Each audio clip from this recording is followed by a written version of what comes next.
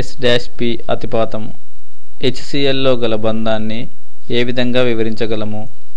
Hydrogen మరియు క్లోరిన్ల electron విన్యాసాలు వరుసగా వన్ ఎస్ వన్ మరియు one S two two S two two P six three S two three P five. హైడ్రోజన్లో ఒకటి ఎస్లో ఒక ఒంటరి ఎలక్ట్రాన్ మరియు క్లోరిన్ యొక్క త్రీ పీ జెడ్లో ఒక ఒంటరి ఎలక్ట్రాన్ ఉన్నాయి.